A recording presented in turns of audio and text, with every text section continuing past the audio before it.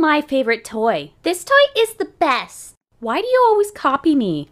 No, you're always copying me. Girls, get ready. We're going out. Mom, I'm ready. How do I look? I'm ready too. Why are you copying my outfit? No, I got it before you did. Mom, help me. Ava's always copying me. You're the one who copies me. You even copied my name. Dad changed it later. Ava, change your dress.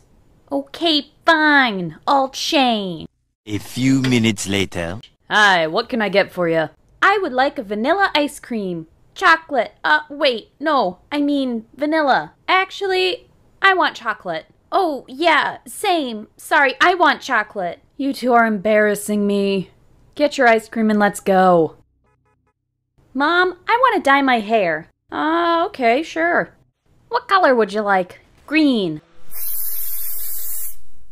Yeah, my hair looks so good. Mom, can I dye mine too? Please? No, you're too young. Please, Mom, please. No. It's okay, Mom. Let her do it. Fine, but I'll never let you do it again. Yeah, I want to dye it green too.